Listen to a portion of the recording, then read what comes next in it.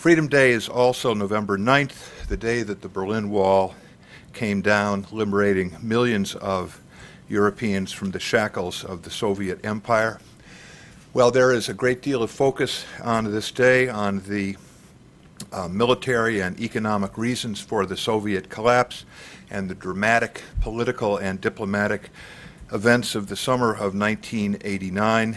The victory was a spiritual awakening, a spiritual uprising in a real, practical, and immediate sense that Ronald Reagan and Pope John Paul II understood this from the beginning and set themselves to encouraging and leading the spiritual uprising.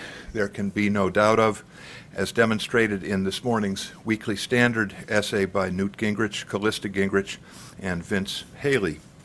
Uh, our uh, session today is titled The Victory of the Cross How Spiritual Renewal Helped Topple the Berlin Wall. We will begin with a talk uh, and uh, I think a little presentation uh, by Newt Gingrich, the former Speaker of the House, a fellow at AEI and the Hoover Institution, omnipresent political phenomenon on issues ranging from oil drilling to health care to the legislative developments of the day. But Newt is also something more, something that was once customary but is less so today. A politician who, in his private life, is a seriously religious man, but who does not make religious belief an upfront part of his political platform, although his religion certainly underlies and influences that platform. In his public political pronouncements, he customarily uses the ecumenical term spirituality. Uh, this is a large part of the uh, uh, Gingrich uh, oeuvre. Uh, the department is represented uh, by the two movies and books, Rediscovering God in America by Newt Gingrich and Callista Gingrich. The second edition, focusing on our early political national heritage, uh, has just come out, and uh, both book and DVD uh, are for sale in the ante room. this is the American Enterprise Institute. we like commerce. Uh, so I'm happy to say that of the total Gingrich oeuvre of 20 books, uh, now uh, officially 11 of them have been New York Times bestsellers. Uh, and the latest edition, which will come out uh, shortly and which we will be talking about today, today is sort of a sneak preview, also by Newt Gingrich and Callista Gingrich, and by executive producer uh, Vince Haley, Nine Days That Changed the World. Newt will be joined in today's commentary first by Bob McEwen, Bob is the chairman of Renewing American Leadership. He was a colleague of Newt's in the House of Representatives in the 1980s and early 1990s. He played more than an incidental uh, role uh, in the events we are talking about uh, today. Uh, in August of 1989, he was in uh, Poland along with uh, Senator Bob Dole as an official representative to the elections there. Following the elections, the new Prime Minister of Poland uh, met uh, with his first foreign dignitaries, uh, Representative McEwen and Senator Dole, while the Soviet representative cooled his heels in the anteroom. Subsequently, in his uh, congressional career and afterwards, he has played an important role in the uh, parting uh, death spasms of the Soviet Union uh, and in protecting the liberties of Eastern Europeans since then. Uh, finally, uh, Vince Haley, a former colleague of mine at AEI, is now Vice President for Policy at American Solutions for Winning the Future, uh, one part of the uh, Newt Gingrich uh, juggernaut. he was a contributing author of Newt's bestseller, Real Change uh, moving from the world that fails to the world that uh, works. And he is associate producer of Nine Changed, Nine Days That uh, Changed the World, which we will be hearing a little bit more about this afternoon. Uh, with that, we will begin with uh, Newt Gingrich. A warm welcome, please.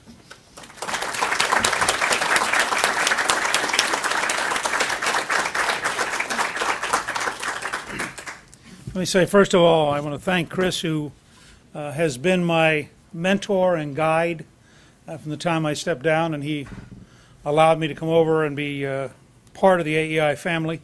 and uh, he has continued to try to advise me as we go through this intellectual, uh, spiritual journey of trying to understand where we are and where we're going. I, I think this is a fascinating day to hold a discussion about what happened 20 years ago and why.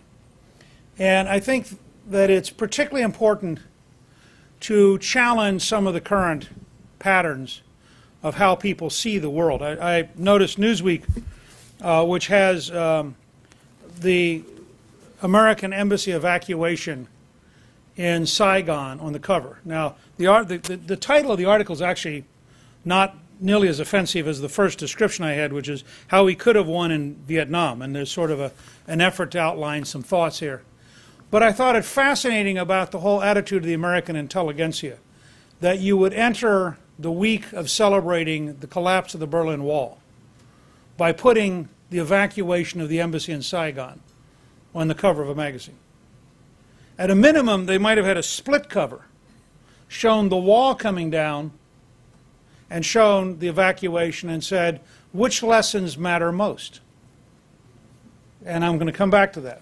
It's also fascinating. They have a, fairly long essay by, uh, by uh, Niall Ferguson, which is uh, stunningly I think, wrongheaded about the nature of reality. Uh, but he, say, he suggests, for example, the reverberations of the fall of the Berlin Wall turned out to be much smaller than we expected at the time. The Soviet Union disappeared. People in Poland, the Czech Republic, Slovakia, Hungary, Romania, Ukraine, Georgia live in freedom. People in Russia live in semi freedom. Estonia, Latvia, Lithuania are independent. What, would, what, he, what he really is arguing, and this, of course, is the modern left's great cry about, about history, is that we did not arrive at utopia. It turned out, for example, in Russia that rich Russians had huge advantages, and that KGB connected, ruthless and murderous rich Russians had really big advantages. Well, that's a sad commentary on Russian history and the tragedy of Russian history. But it doesn't mean that Putin's regime is in any way comparable to Brezhnev's dictatorship and to, and to minimize the scale of change is, I think, a sign of a stunning avoidance of reality. He goes on to talk about how he argues that 1979 was the year the world really changed, and then manages not to spend any time on Pope John Paul II's visit to Poland. The nine days that we argue changed the world. Now, we didn't get there on our own. Uh, and I, with Vince's help, were doing a movie with Dave Bossie and Citizens United on Ronald Reagan. And in the process of doing that movie, uh, called Rendezvous with Destiny, we interviewed Lech Wałęsa in Gdansk, Poland, and we interviewed Václav Havel in Prague in the Czech Republic. And both of them basically said, look, freedom was a process, and the Pope was a very major component of that. In, in the case of, of uh, Havel, of uh, Wałęsa rather, two interesting things. One is he wears an icon of the Black Madonna every day which he began wearing, and I think this is very interesting in terms of the ACLU and the modern efforts towards uh, enforced government imposed secularism. Uh, he began wearing in the Lenin shipyards when one of the founders of the Solidarity movement began wearing it on the grounds that the Soviet state didn't have the nerve to go in and take it off, unlike the Ninth Circuit Court in the United States. And so it became for them a symbol of their Polishness and a symbol of their religious belief. And to this day, he wears the icon of the Black Madonna every day to remind him of the relation between Catholicism, Poland, religious liberty, and the freedom of the country. In the case of Havel, who of course is a modern intellectual and a playwright of the first order, uh, he nonetheless said, in fact, at one point he said, we looked up for guidance to God. And he said the Pope played a significant role. So we began digging into this, and I have to say, George Weigel did a remarkable job in The Final Revolution, which is a study of the role of the church in the 80s. And I recommend anybody who wants to have a serious sense of how, how, how communism was unraveled, how secular dictatorship collapsed, and how the human spirit was reignited I think uh, probably Weigel's The Final Revolution is as good a book as there is, and outlines the crisis of modern secular Europe, which has no moral basis on which to defend itself, uh, which he captured later in a much very small book called uh, The Cube and the Cathedral. Now, in that context, as we approach the 20th anniversary, it's also totally appropriate that President Obama, who found time to go to Copenhagen for the Olympics, and who, as a candidate, found time to go to Berlin, couldn't quite find the time to celebrate the fall of the Berlin Wall. And I think that's totally appropriate because, in his worldview, it involves all the wrong symbols. It doesn't involve embracing Hugo Chavez. It doesn't involve appeasing Ahmadinejad. It doesn't involve denying reality about Kim Jong il.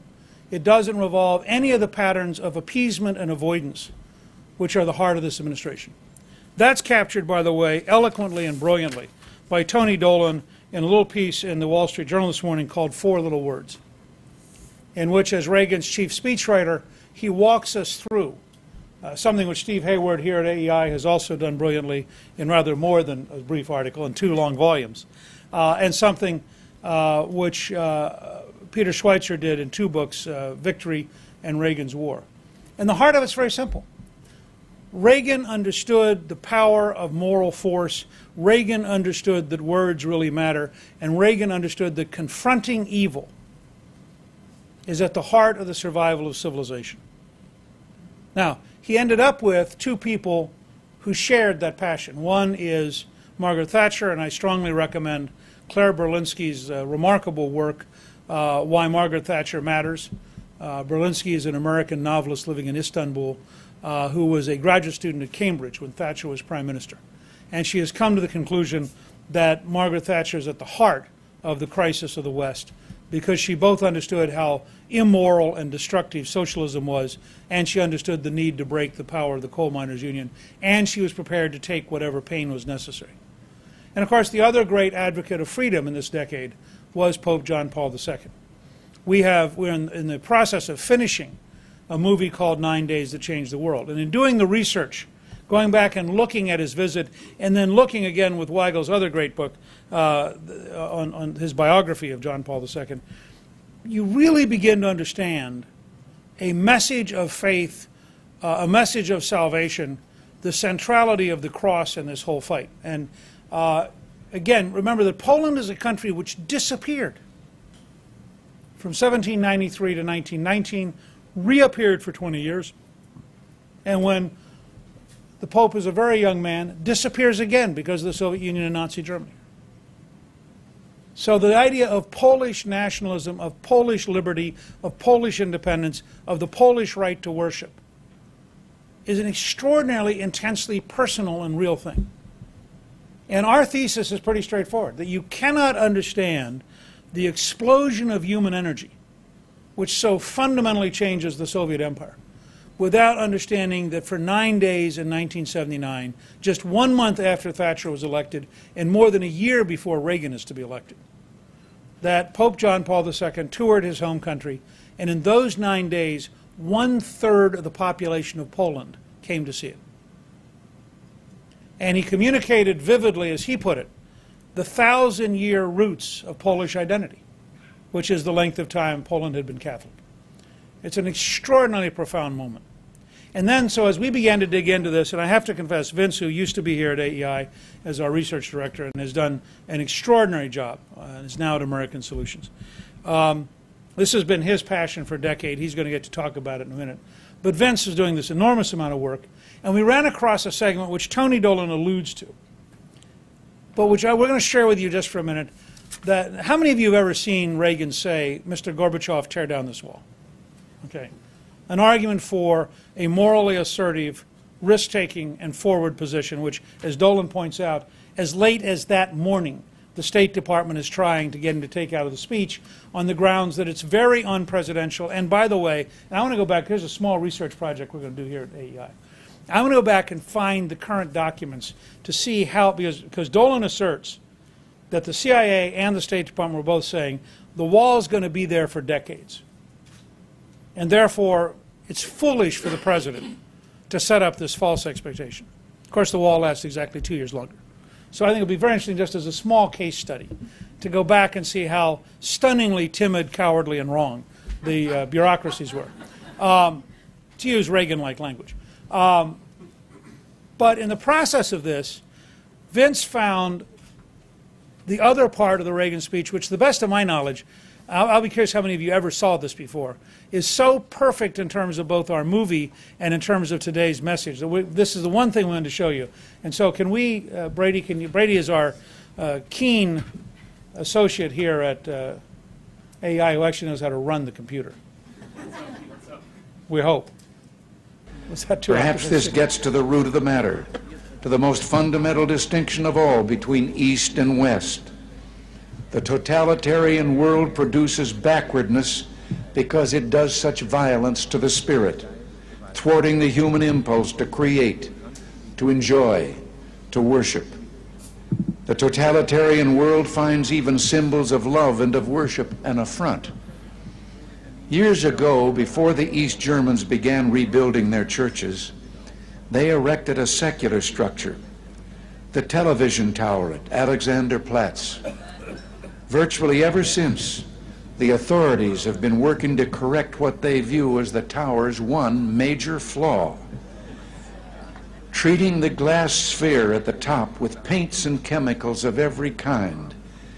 Yet even today, when the sun strikes that sphere, that sphere that towers over all Berlin, the light makes the sign of the cross.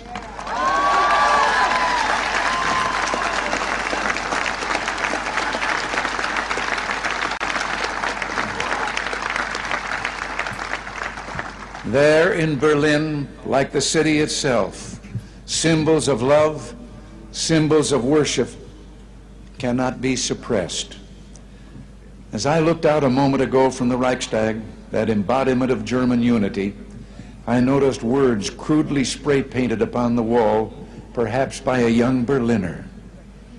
Quote, This wall will fall, beliefs become reality.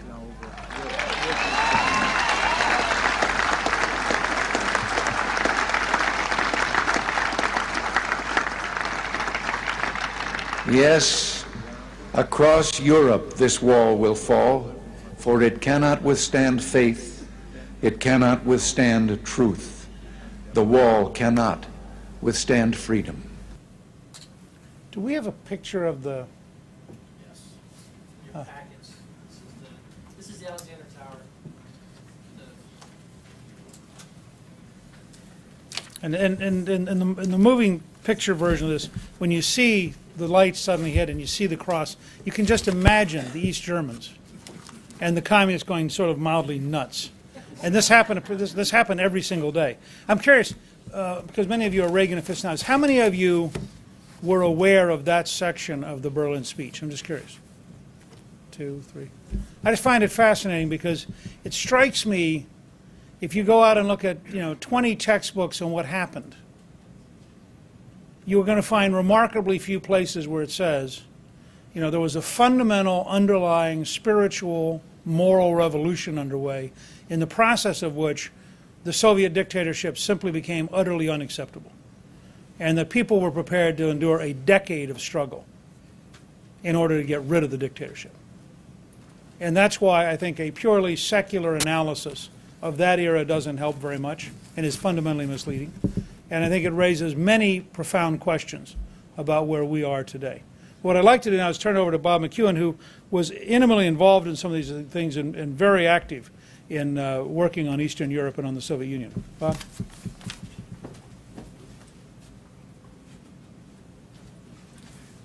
Thank you, Newt, and please allow me to take 60 of my 600 seconds allotted here to express my gratitude on behalf of Vince as well to the two gentlemen that preceded me here. And just uh, to borrow three lines from President Reagan himself, who said, The American Enterprise Institute stands at the center of a revolution of ideas, that our ideas were greeted with varying degrees of scorn and hostility by what used to be called the establishment institutions. The universities, once the real home of American scholarship, have been particularly unresponsive. And so it became necessary to create our own research institutions as places where scholars could congregate and important studies could be produced that did not kowtow to the conventional wisdom. And the work of this institution, remarkably distinguished body of work, is testimony to the triumph of that think tank. The most important American scholarship comes out of our think tanks into of those, the most influential is the American Enterprise Institute. And I would say that's due in no small part to the leadership of Chris DeMuth, and uh, I am honored to be in his company as well as to uh, accompany my friend and leader for this nation, uh, Newt Gingrich. Two quick observations about a leader. A leader is a person who knows what needs to be done next, knows why it's important, and possesses the integrity necessary to bring together the resources to accomplish the task, usually people. The strength of a nation is often eh, made up of four parts military, economic, it's made up of political, but also a spiritual leadership. That a nation can be strong, but with weak, immoral leadership can collapse. Or as there is no better example of having watched Britain sit idly by as its enemies surpassed it in strength. And then, in a, the moment when the, all of the continent is gone, the man that had said for 20 years we need to prepare for this moment, and now there was no place else to turn and nothing could be done. They called down to Chartwell, invited that man who had been excluded from government for the previous many years.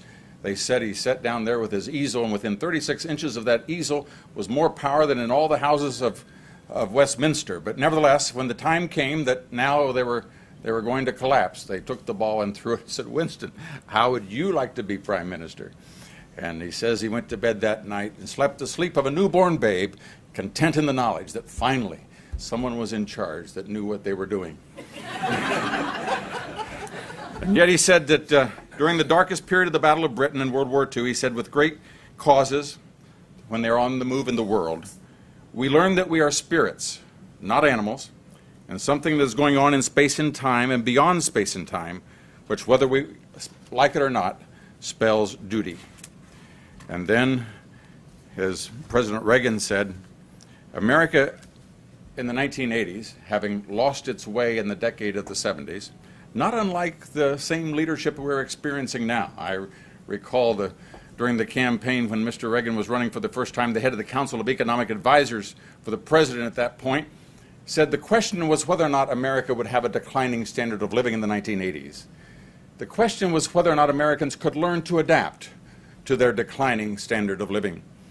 And of course, you remember that we had to learn to live with less, to turn down our thermostats, wear our sweaters, ride our bicycles. America's coming to an end next Tuesday week, and there isn't anything anybody can do about it.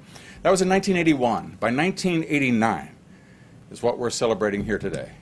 Just eight years later, the entire world from Moscow to Managua to Warsaw to Berlin was chanting USA, USA, USA. Now, what is that that makes that difference? He said America is in the midst of a spiritual awakening and a moral renewal. But we must never forget that no government schemes are going to per perfect man. We know that living in this world means dealing with what philosoph philosoph philosophers would call evil, or, as theologians would put it, the doctrine of sin. I'm quoting the President of the United States in a speech in 1983 in Orlando, Florida. I've always maintained that the struggle now going on for the world will never be decided by bombs or rockets, by armies or military might. The real crisis we face today is a spiritual one. At root is a test of moral will and faith. I believe the source of our strength in the quest for human freedom is not material, but it is spiritual. That's what leaders understand that they cannot prevail only with might, but by an inspiration. And so Nathan Sharansky would say, and I will quote his explanation of the story that we all know so well. He said Reagan's challenge to the Soviet was as much moral as it was economic, which is why the impact of his policies on the life of Soviet dissidents was no less dramatic. One day, my Soviet jailers gave me the privilege of reading the latest copy of Pravda, and splashed across the front page was a condemnation of President Reagan for having the temerity to call the Soviet Union an evil empire. Tapping on walls and talking through toilets, word of Reagan's provocation quickly spread throughout the prison, and the dissidents became ecstatic. Finally, the leader of the free world had spoken the truth, a truth that burned inside the hearts of every one of us. And so we acknowledge the, the time just 35 minutes ago, the former president of Poland was invited to begin to push the dominoes that are stretched across Berlin this evening, a mile and a half long, the dominoes that represent what happened when one people began to stand up.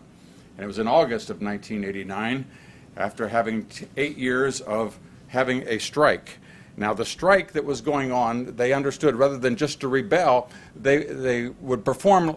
The example I use is when you ask your teenagers to clean the garage, and there's lots of activity going on, but nothing really happens. And so uh, they, they decided that they would just bring the economy to a halt, and through a series of negotiations that would make a tremendous, interesting uh, story on their, on their own, it became apparent that the day had come when they could conceivably choose a non communist leader of a communist country, something that had never happened since the Bolsheviks had shot their way into power in November of 1917. And for those who are subject to the normal history books, let me remind you that was not against the Tsar. The Tsar had abdicated earlier in the year, but against the Republic under Kerensky, who died in New York in 1970. And once they took power at the barrel of a gun, nobody had ever been able to overcome it. And in meeting with, with Lech Wałęsa in Gdansk, he asked that we attend the same in Warsaw when they go to make this decision because it's possible that they could roll the tanks and not permit it to happen, fearing that if a, non if a country can choose a non-communist leader and nothing happens, that it would unravel the entire system. Well, I got involved in government for two reasons. Because I loved America and I hated communism. And I still bristled at the fact that in 1956, when those dear Hungarians stood up, no one came to their aid. Or in 1968, when the Prague Spring was being crushed, no one said or did anything to help them. But now I was in Warsaw as a member of Congress, and if they were going to roll the tanks, I was going to be there. And so, in sitting there and watching that vote take place, they then froze after having chosen the leader, and no one knew what to do next. And I personally was jumping out of my skin. And so I uh, was elbowing my wife how great this was. This is the greatest thing. Either they roll the tanks in 24 hours or communism is a political force and the world is dead. This is when somebody ought to applaud, do something. so she said, Why don't you? I said, I can do that. I started to applaud. They started to applaud. We started to celebrate. But then we knew the next morning when Tadeusz Mazowiecki, the fellow that spent six of the previous eight years in jail, the editor of the, of the Solidarity newspaper, who is now going to be prime minister, that he shouldn't go in there alone. And so we were privileged to escort him, five of us, Bob and, and Elizabeth Dole, Bob and Liz McEwen, and Senator DeConcini, to go in with him. And we walked into the chancellery where he stood and looked around and said, You know, I've never been in here before. But he's now the prime minister. We, I gave him a flag that had flown over the Capitol. Elizabeth Dole, the cabinet member, gave a letter from the president. And Senator DeConcini said, We're going to pray for you, uh, Mr. Prime Minister. And he didn't even wait for the end of, of the translation. He just turned. He said, That's what we've been robbed of for these last 45 years. That's what this nation needs. And then the dominoes began to go August, September, October, until November 9th. The wall came down, and the lesson was given to the world that freedom can and will conquer. Moments ago, walking across the Brandenburg Gate, arm in arm with, with Mr. Gorbachev, Chancellor Angela Merkel said, This is not just a day of celebration for Germans. This is a day of celebration for the whole of Europe. Indeed, this is a day of celebration for all of those people who love freedom and who now have more of it. And so, when Berlin was divided into four sectors, uh, the representatives of those sectors are there in that the Chancellor of the nation, Madame Merkel, is there. The President of the French Republic, Mr. Sarkozy, is there. The Prime Minister of Great Britain, Gordon Brown, is there. And the President of the United States is I know not where. November 9th, this day, 1954. Seven blocks from here, President Eisenhower concluded an address to the con- Conference on Spiritual Foundations of American Democracy when he said this I don't think anyone needs a great deal of credit for believing in what seems to be so obvious this relationship between our spiritual faith and our form of government. So obvious that we should really not need to identify a man as unusual who recognizes it. Our whole theory of government, finally expressed in our Declaration, said man is endowed by his Creator. When you come back to it, there's just one thing man is worthwhile because he was born in the image of God. Freedom is nothing in the world but a spiritual conviction that each of us is enormously valuable because of a certain standing that was given by God Himself.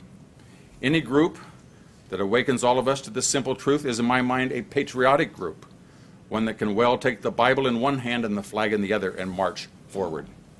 That's what AEI does. That's what uh, the leaders of, of American Solutions do.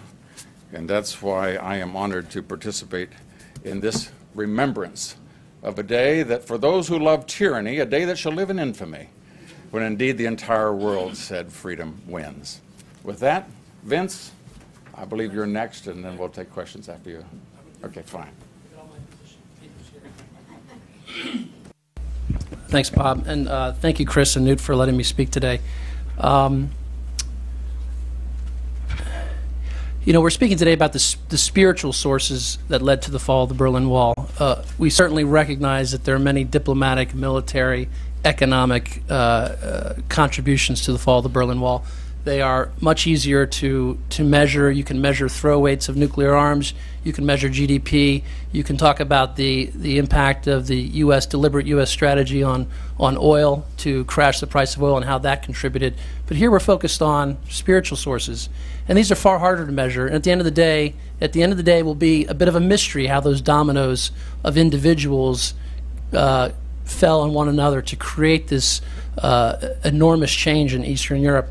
And as a as a bookend uh, to my my quick brief talk uh, are two dates: June 1978 and June of 2009, 31 years apart. In June of 2000, uh, 1978, uh, the writer of the Gulag Archipelago, I can't even pronounce it. Uh, the, the Alexander Solzhenitsyn goes to Harvard University and he gives it a, an address called "The World Split Apart." And this is somebody who experienced the horror of the Soviet labor camps firsthand and wrote about it. And he was in exile in the United States. Uh, Chris DeMuth was present at that address. And what did he say? He lamented the loss of courage. He, he, he described the loss of courage as the most defining aspect of life in the West. He talked about uh, the, the lack of a belief in a supreme being that would, in a sense, rally the West to defend itself against an evil on the march. He said what would be required would be a spiritual blaze in order to meet these threats. And he said the only way we have, the only thing that we can do is to look upward. That's how he closed his address. And in June of 2009, you had in the heart of the square where John Paul II had his first Mass during that nine day pilgrimage in, in, in 79. 30 years after that Mass, you had the mayor of Warsaw, the president of Poland, a company of 50 soldiers erecting a cross, a 30 foot cross, in the same spot where that Mass took place, giving in gratitude for the words of John Paul, for his message that led to their liberation. The, the country of Poland, through that ceremony, um, made it very clear what they believe led to the fall of the wall and to their own liberation. But let me just, in, in this brief talk, here's the scope, and that is uh, spiritual renewal in Poland was a long program. Uh, started after the war by the Catholic Church in Poland. It culminated most vividly in 1979 during the, the, the pilgrimage of, of Pope John Paul II, and then through the 79 89 period grew in courage. Um, but it's key to remember that it didn't just happen in 79. It was, it was the, the nine day pilgrimage uh, by Pope John Paul II rallied people in a way that they had not been rallied before. But there was a period of renewal. And why is that important? In the Second World War, I want to just give you an, a couple facts. Six million Poles died or were killed, almost a fifth of the population of a pre war population of 35 million. Of this 6 million figure, 2.9 million were Polish Jews. After the Nazi invasion of 1939, the Nazis murdered almost 2,000 priests, six bishops, 850 monks, 300 nuns, 113 seminarians, and 15 other priests survived the concentration camps. And church property was destroyed across the country. So we talk about spiritual renewal, we're talking about the renewal of an institution and of, and of, of individuals uh, in the face of such overwhelming evil. And keep in mind that the Polish people, in a sense, lost the Second World War twice. They lost it in 1939 when they were invaded on the east and the west, and ultimately they lost it in 1945 when Yalta uh, uh, made it such that the Poles were going to have to live in, in communism. So it was renewal in that context that uh, the new primate, Stefan Wyszynski, um, which we talk about in the, in the movie, he takes over as primate of Poland. And, and the primate of Poland um, is an office that's unique to the Polish Catholic Church. For hundreds of years in Poland, when there was no king, the primate, the leader of the Catholic Church in Poland, would in a sense be the, the primate, the leader between kings. So he had an historical role to fill. And in the, in the, in the midst of this devastation, he sought maneuvering room for the church, just a livable space. But the communists were intent on destroying the church in Poland. And uh, they tried to have authority over the naming of bishops. They took over property. Um, uh, you know, they, they uh, put, put bishops in prison. Um, what ultimately happened, the, the, the church refused, Wyszynski refused to be accommodated to um, Soviet leadership of the church, control of the church, uh, and it was put in prison for three years under house arrest from 1953 to 1956. Well, what happened was there was tremendous labor unrest that ultimately the, the communist authorities thought they needed the, the primate to come back to Warsaw, to become primate again, and that would um, keep the, the unrest down. Uh, agreed to do that only on the condition that the church uh, would have this livable space, that the bishops, the priests would be released from prison, that property would be restored, the church could maintain some self-governance, and that happened. But still, under the, the communists, constant harassment took place on the church. Everything from not providing ink to the, the Catholic newspapers, uh, taxes, all the things that a overweening government does to, um, to uh, disfavor certain activities. When he was in house arrest, under house arrest, Wyszynski had this idea, and this is one key aspect of the renewal in Poland that took place. He had the idea that in, the, in 1966, so nine years hence, was going to be the thousandth anniversary of Polish Christianity. And to understand this great novena which he created. Uh, novena in the in the Catholic Church is nine days of typically nine days of prayer, uh, seeking grace on behalf of a, uh, an intention. He thought, let's do a nine-year novena, culminating in the thousandth anniversary of Polish Christianity. And what would happen during this nine-year novena?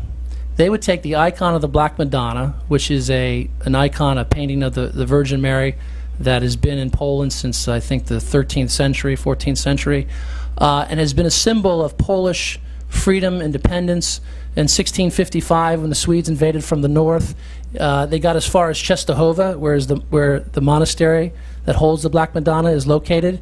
And there, at Czestochowa, they were able to rebuff the invasion. So, in the Polish understanding of itself, the Black Madonna is a defender of Poland.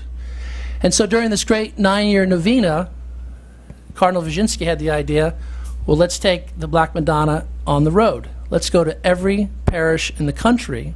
And then over this nine year period, we will, in a sense, revivify, make more lively the Polish understanding of its history, its Catholic identity.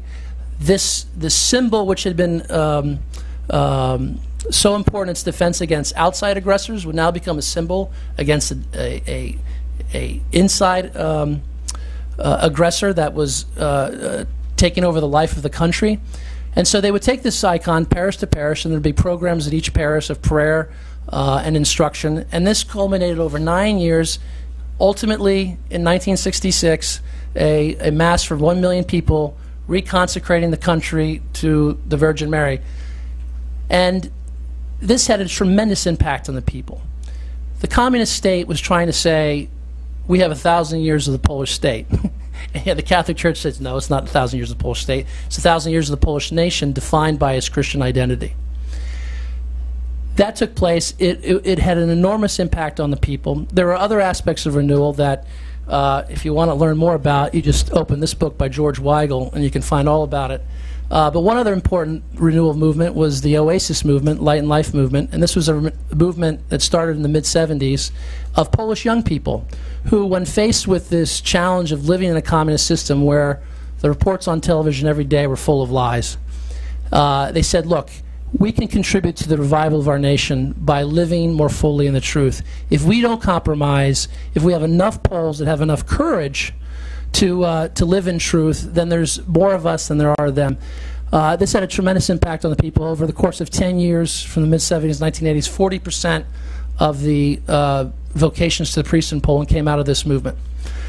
I want to jump to 1979. I've just abbreviated 30 years of history that has tremendous depth. Um, you know, for a lot of people who can't, even American Catholics like myself, who don't fully understand the nature of Polish piety, um, it, it is difficult to access. But this period of living space for the church, renewal, not only renewal in the church, renewal of the Polish national identity, culminated in the Pope's visit in 1979. He gets elected four months after Solzhenitsyn makes his famous address about a loss of courage. And what does he say? In his opening mass in Rome, he says, not, Do not be afraid, open your hearts to Christ. Now, um, in the course of our documentary, we interviewed a number of people, and I, I'll go right to this comment by former president of the Italian Senate, Marcello Pera, who uh, himself is uh, quite a commenter on the, the current scene in, in Europe and issues of secularism, moral relativism. And he himself, I don't even believe is a, is a Christian. He, I think he identifies himself as an agnostic. But he said to us in, in, in May of this year that in his belief, it was the cross as carried by John Paul II that led to the fall of communism in Poland and then elsewhere.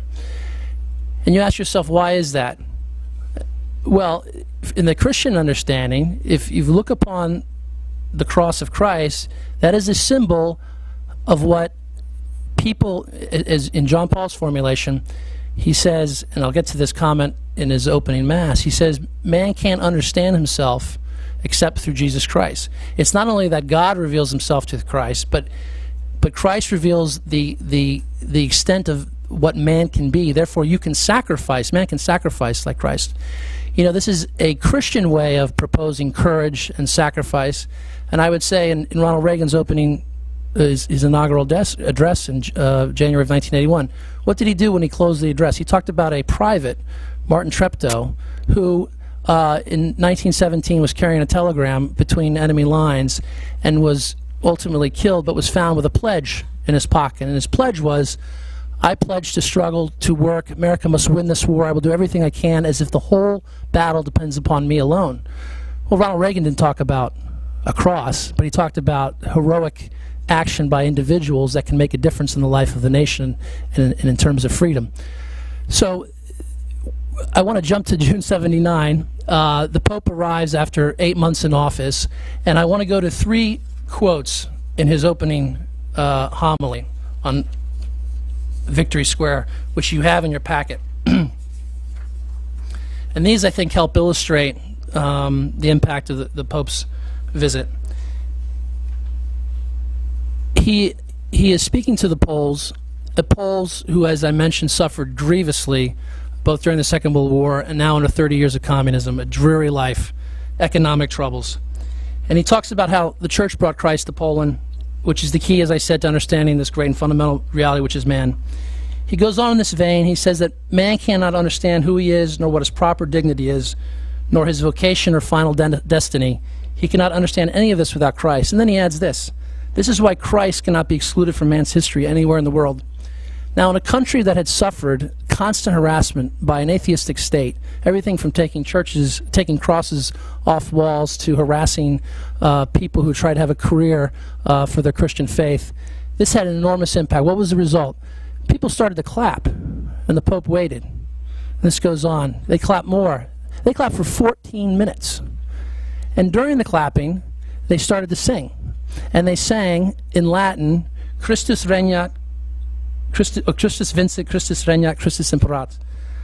Christ conquers, Christ reigns, Christ rules. Now, what an affirming uh, statement that the state is not supreme in Poland, but God is supreme. And we have many people in our movie uh, who describe the impact of this this 14, 14 minutes of, uh, of applause. Uh, a Polish theologian described this as the great lifting of fear that had kept people isolated during the communist period.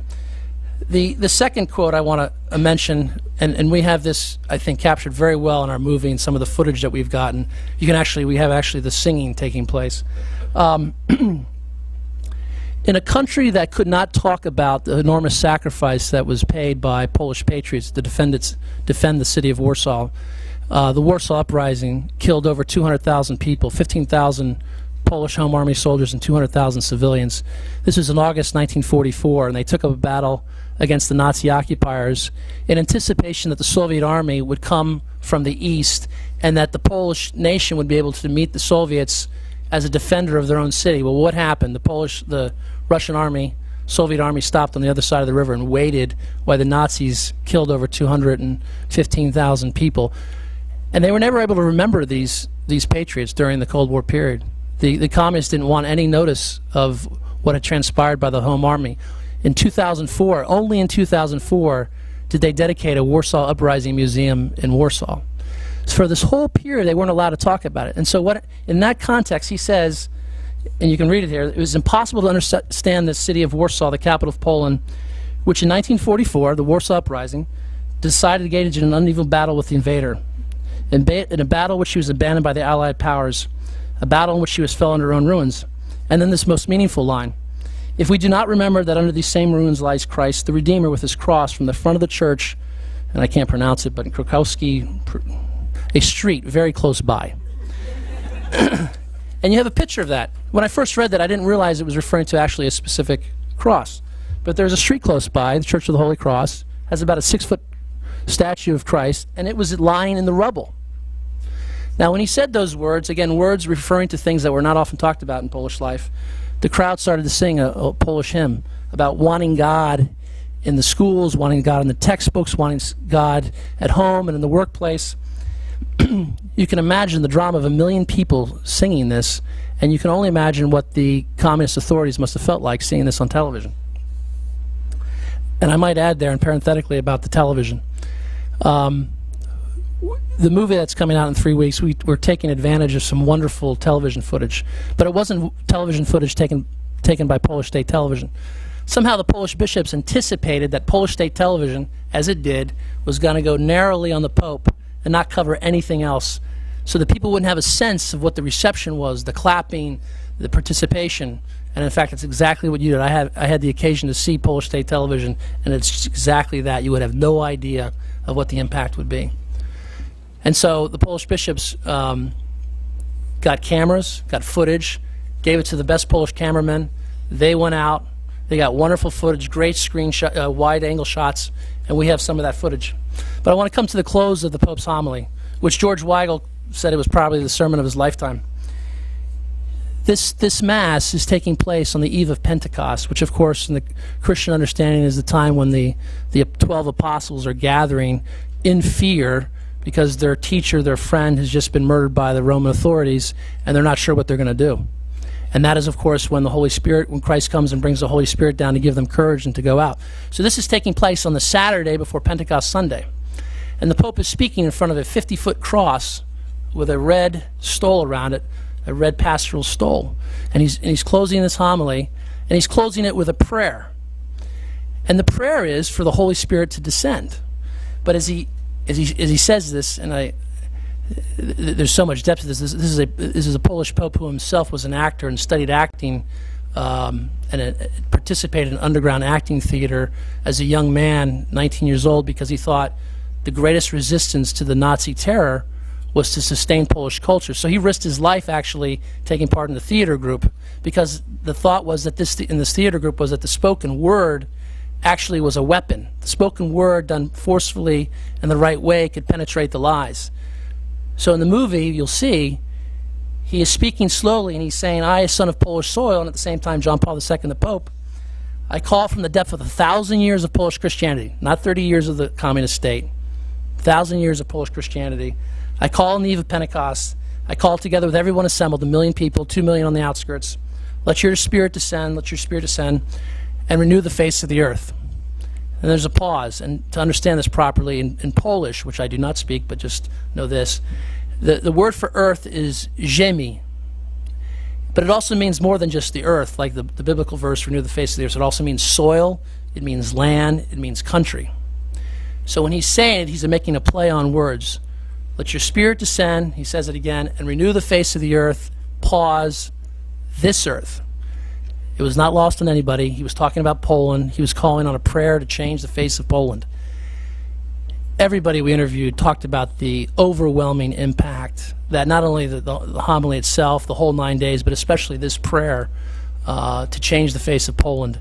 And as one Polish monk we interviewed said, he goes, "Look, don't don't be disillusioned. Not everybody became a saint overnight. Not everybody became a saint, but there was no question that the, the Poland was renewed uh, as a result of these nine days. Um,